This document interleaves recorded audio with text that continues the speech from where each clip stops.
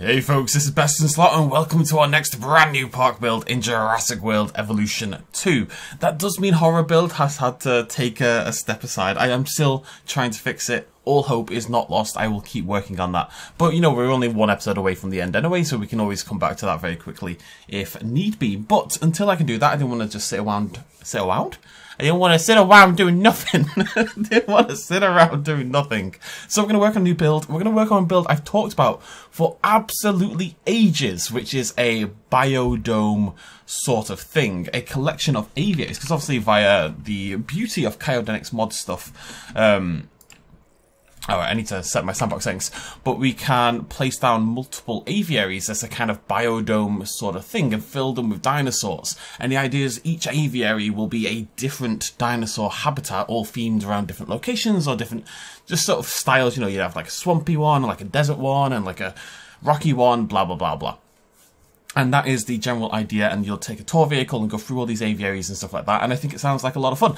Um, I'm gonna get the utility stuff done, all the the basic building stuff. You know, the the basically this guest stuff done. We're gonna try to focus on the dinosaurs, but obviously we need like a park opening, a park center. So I'm gonna do all that. We're gonna time lapse that, and then we'll um we'll do the actual dinosaur biodome bit in real time. How's that for a plan? That's a great plan. Thank you. Okay, so I will uh, see you guys in just a moment.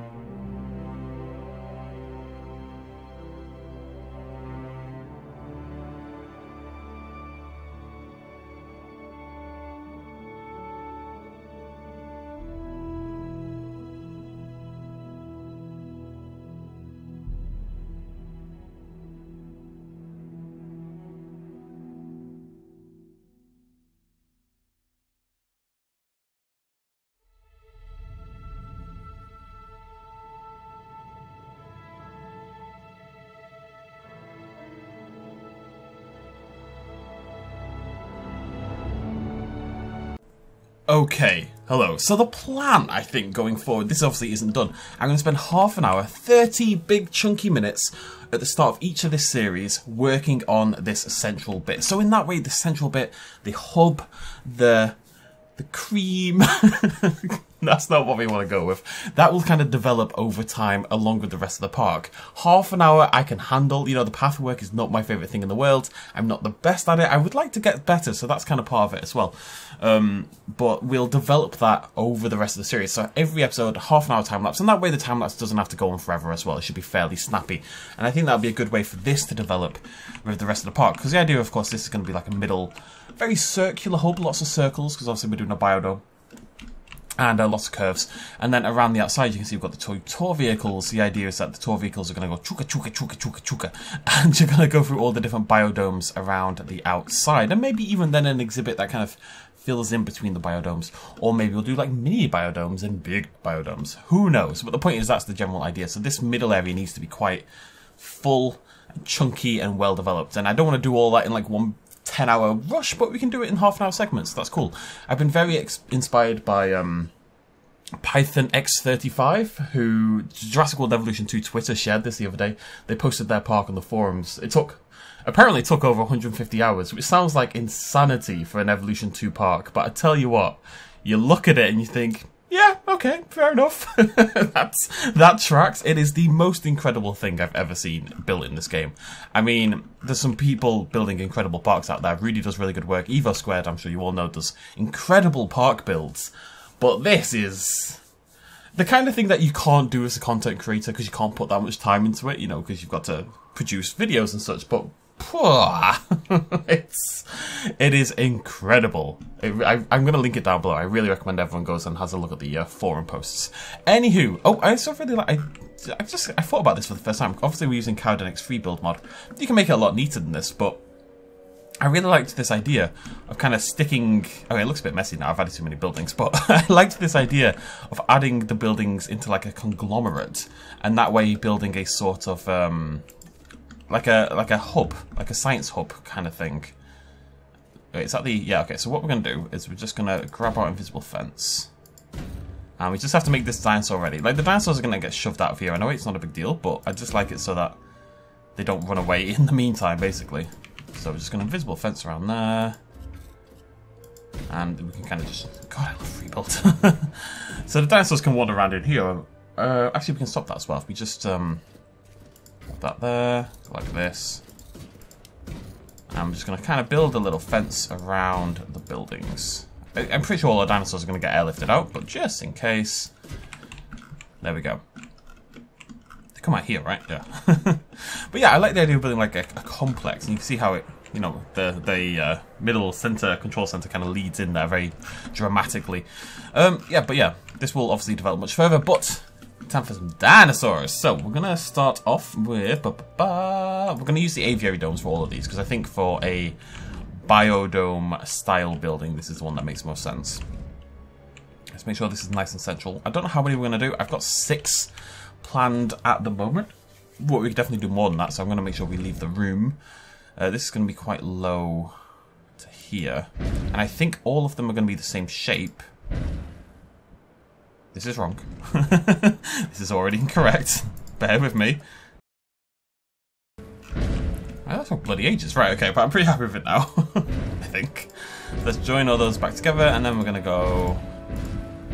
I think something like that, like a little module kind of thing sitting at the back. And what we then need to do is we're going to grab our new invisible fence, our new Biosyn invisible fence. And we're going to go around the outside of this. And we're going to just uh, curve around the edge like so, because the dinosaurs will happily walk outside off this uh, off this dome thing. So just need to trace the edge with a fence, make sure they can't escape.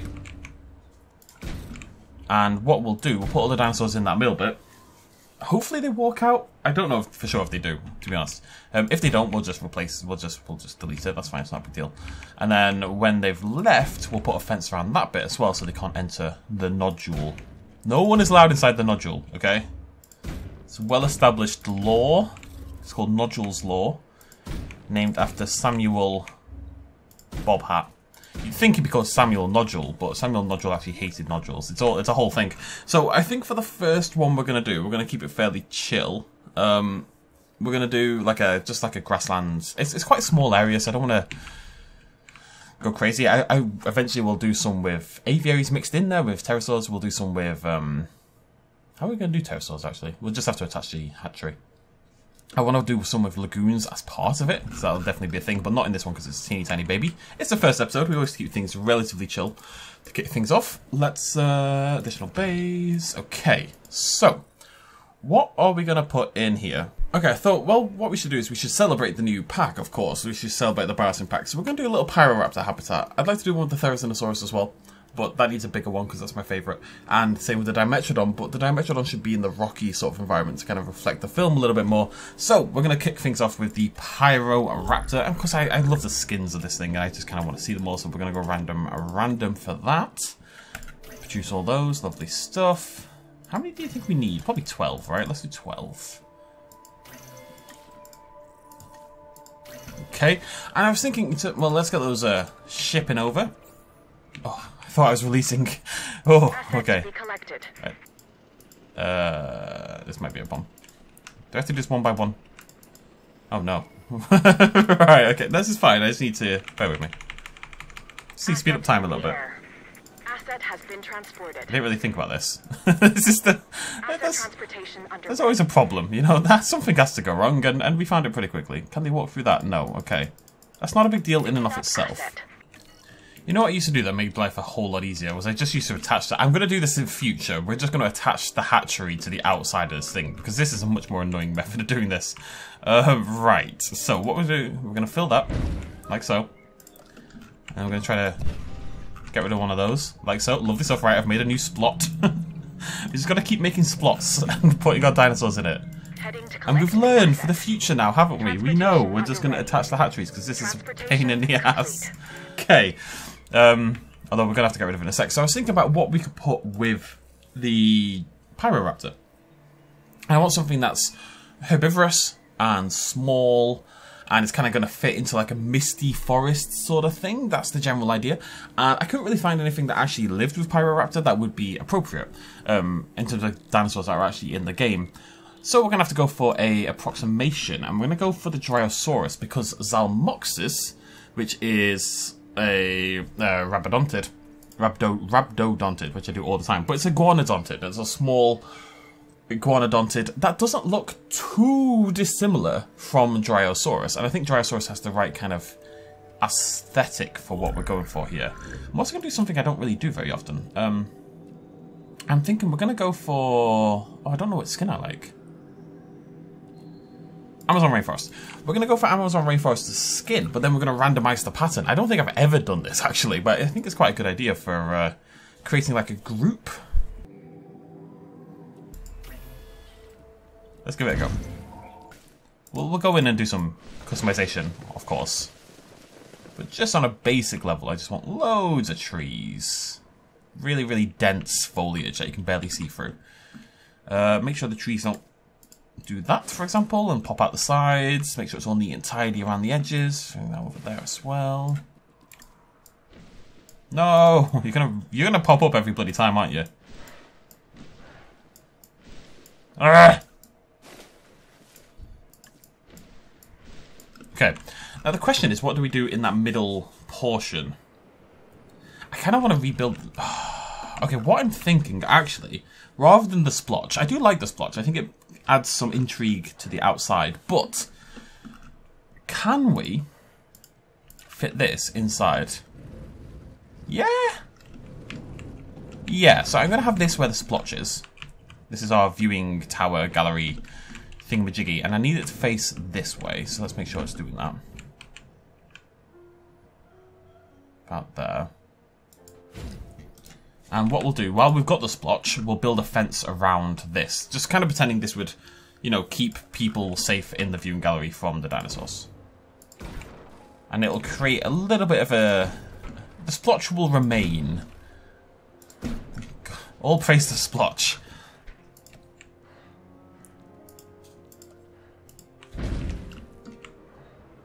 Okay. And let's connect that Hyperloop.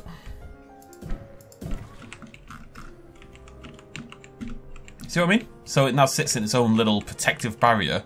And it also kind of keeps the trees away from this middle bit. So we've got kind of a nice open area in the center where the uh, where we can actually see the dinosaurs. Which is a crazy concept, I know. One that I'm not too fond of, personally. I hope the mist does come inside the aviaries. I'm sure it does. Just make sure it's nice and thick around the outsides. Don't need to be able to see the far wall, preferably.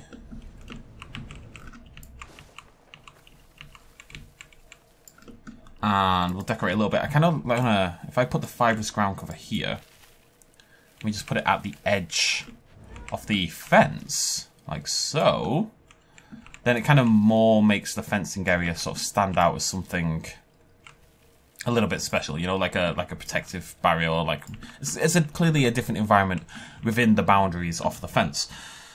And we could even maybe double some rock in there. Is that crazy town? I don't know. Maybe it isn't crazy town. Or and both of those words, we have these new decorations, of course, with the latest update.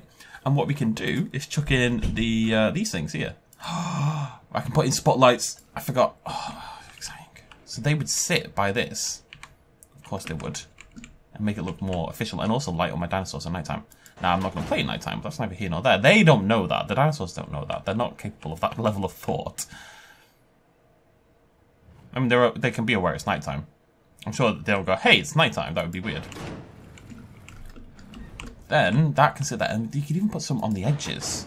And it's kind of like, okay, this is cool. I've got like whole new ideas now. It kind of like you know when in like a sci-fi horror film or something, or like you know just any horror film, any sci-fi film, and they go to an alien planet and they set up like a base, and they always put up all these lights around it, or they, you're digging down in, you know, in Prometheus or whatever, or in any film where they dig down into the to the depths of the the world, and you'd have like these big lights like temporarily set up around your base. It's that kind of vibe is the idea. I'm going to move these ones, I think.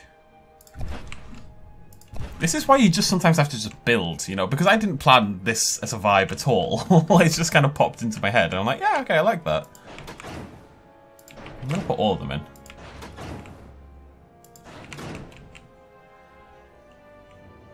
Yeah, I like that a lot. Plus, you'd want that if you were here, right? So you can actually see the dinosaurs. Um... Okay, yeah, no, chuffed. It's a cool idea. Got a couple of trees in this middle bit. As people have mentioned, they did kind of ruin these trees. they were much more exciting in the past.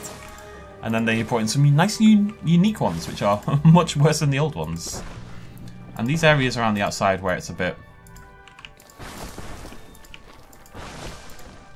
bit, uh...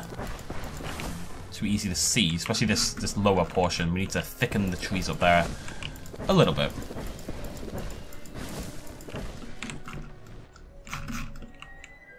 Oh wait, I was, I was in the wrong place. I'm seriously. Yo, I really like that. I'm, I'm chuffed with that as an idea. Super chuffed. Uh, let's see what else we can do. What else we get? We've got the flashbangs, camera post, heat detector, watchtower. I like the watchtower as well. I'd like to integrate the watchtower. Maybe those sit more in the woodlands. Why would they do that though? I have to think about these things. Um, I don't know. Other than I like them. Is that enough reason? And do I like them because I've been playing Firewatch again? I don't know, but maybe it sits like over here.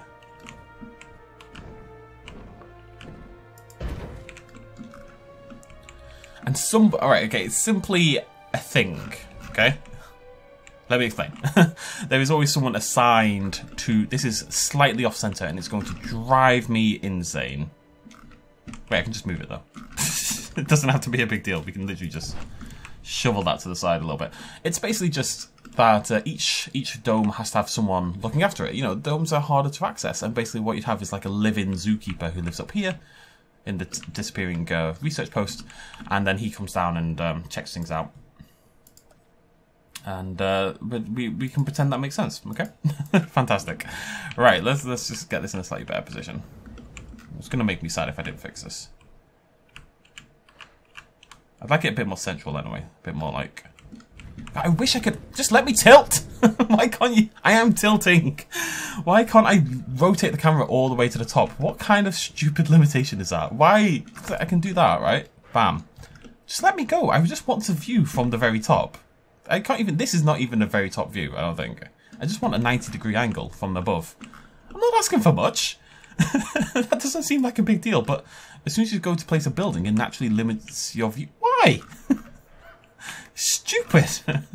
Stupid. Ah, right, okay, sorry. Think it's better. Doesn't have to be dead central, oddly enough. Yeah, that's much better. Yeah, it's a cool idea, I think. It just it looks great as well, and it changes up the lighting in the middle. Oh, sexy, very sexy. Actually, and these things look fantastic. And it doesn't quite. Oh, it does. No, why you?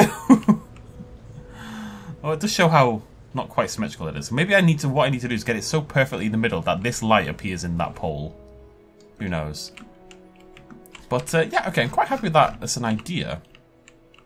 Uh, let's get some food for the Pyroraptors and some water. Not that they need either, but it's neither here nor there. And, oh, that's an invisible one. Oh, invisible feeders. Kaio, I love you. let's put those in there. Let's stick a goat in as well. And uh, water. Now, water's been a bit of a problem for me in the past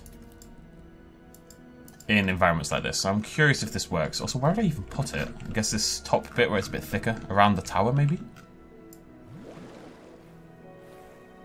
As long as I can get some in, I'm fine. I'll clear out the trees there a little bit.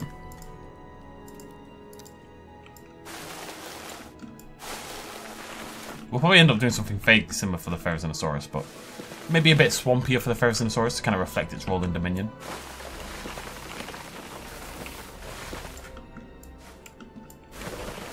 I'm excited about this part. Think it's going to be really cool. It's going to get a bit messed up later on, because like I said, I do want to take the tour vehicle through the whole thing, hopefully.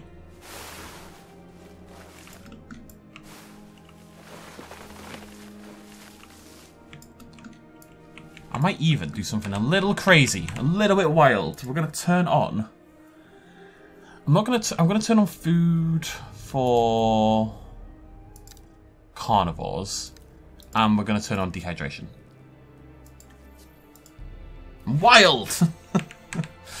because I want the carnivores to eat from the, the feeders. And I want them all to come down here to the the uh, the lake to drink. Because I just think that looks cool. Cool things are cool. Let's picking this back up. Okay. Lovely. Um, we need some tree deco trees, and we're nearly done. Stick some rocks in as well. I like a good bushy tree, I think. I don't hate these trees, to be honest. They're fine. They're not, they're not, exciting, but I haven't really got attached to the other ones. The other ones were just uh, replicas from the uh, Canada park, I believe. So I can see why Frontier changed it. It's just that some people felt that they replaced them with more boring trees and actually made it worse in the process.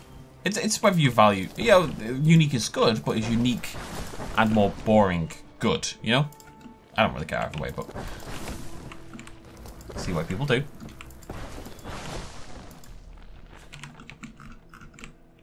I just want the tower to kind of sit behind the tree line a little bit more than it was.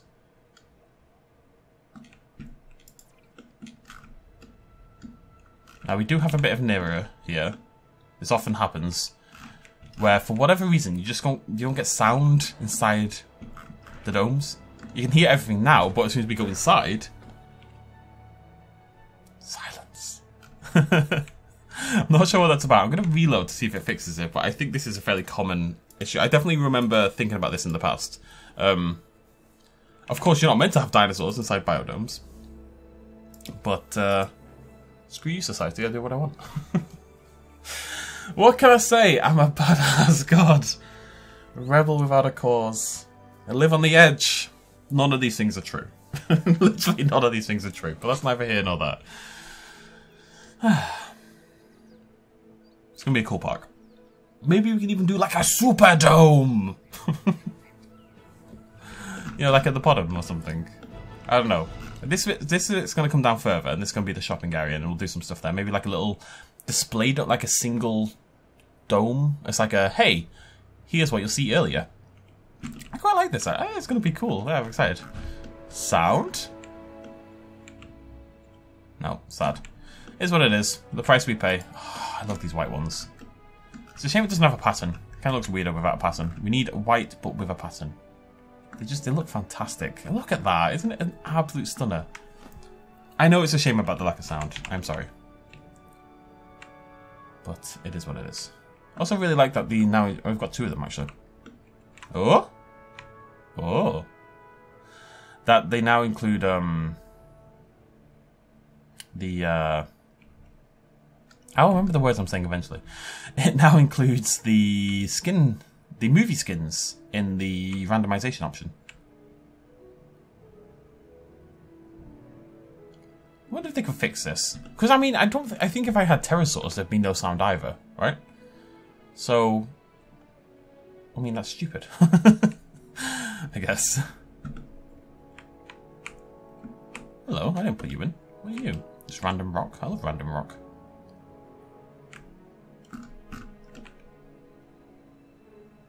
Oh, you're pretty. Got a lot of non-patterned ones.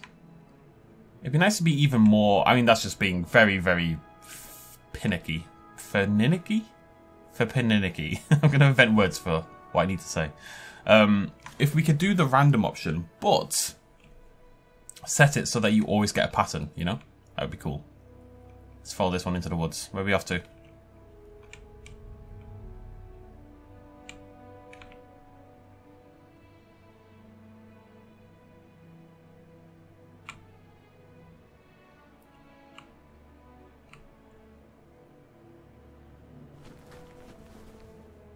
There's some sound. You hear the wings.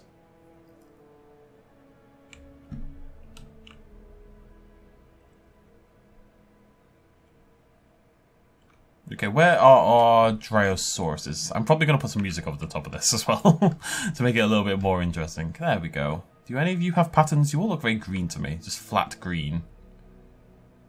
Wait, did I click? I have a, a fairly strong feeling that when I did this, I clicked no pattern. I'm just thinking back to what I pressed. I'm thinking, hmm, don't think I actually clicked add a pattern there. Which would be very silly. I'm pretty sure that's what's happened. Um, yeah, I definitely did. Okay, that was stupid. But I mean, now they look more like a cohesive herd. It was all part. I had like, I was quite happy with that idea as well to like same colour but random pattern. I thought, oh, that's a really good idea. Didn't work out, did it? Didn't work out bloody at all.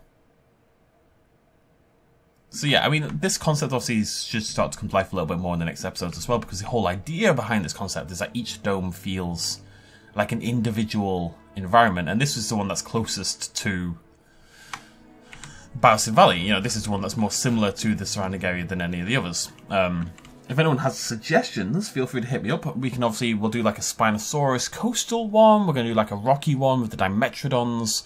We're going to do a swampy one with the Therizinosaurus. We're going to do like a desert one with something. Maybe we'll do desert one with the Spinosaurus and we'll do like a coastal one with something else. That's probably a better idea. But I am very much open to suggestions. So this is our Biodome Park. Doesn't have a name quite yet. It might be Biodome Park. Um, excited about the idea. I think I'd like to. Hmm. That wasn't very informative. I'm thinking, do I want something here that tells you which it is, or should you just see as you go around? I don't know. I don't know. Anyway, so next video we'll do another half an hour developing this uh, middle section, making it look all pretty like. I know this is nothing special, but it's something I need to learn and practice more than anything else. And uh, after that, we'll build a biodome. Which one we build, I will leave up to you folks in the comment section down below. So let me know what you think. Let me know what you want to see next. I'll see you lovely folks very soon. Thanks for joining me. Cheers much love as always. Follow me like if you enjoyed the video. Bye-bye.